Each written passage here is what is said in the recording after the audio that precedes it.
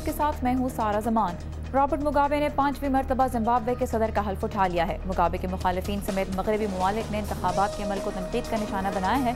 तमाम अफ्रीकी यूनियन के मुताबिक वोटिंग बड़ी हद तक आज़ाद और शफाफ थी। पचास की दहाई में कोरिया की जंग के दौरान बिछड़ने वाले खानदानों की मुलाकातें कराने के लाए अमल पर शुमाली और जनूबी कोरिया कल मुजाकर कर रहे हैं। आखिरी मरतबा बिछड़े हुए खानदान तीन साल पहले मिले थे। गुजशत साल घर में धमाका खेज मवाद फटने के बाद गिरफ़्तार किए गए एक ईरानी बाशिंदे को थाईलैंड में मोहलिक हमलों की मनसूबाबंदी के इल्ज़ाम में उम्र कैद, जबकि दूसरे को पंद्रह साल कैद की सजा सुनाई गई है। दोनों अफराद ने इल्ज़ाम की तरदीद की है। और अमरीकी फौजी साइकाट्रिस्ट मेजर नदाल हसन के खिलाफ मुकदमे में दलाइल का सिलसिला आज खत्म हो रहा है।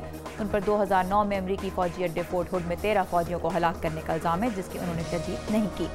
ये था बी न्यूज़ मिनट खबरों की तफसीत के लिए आइए उर्दू बी पर।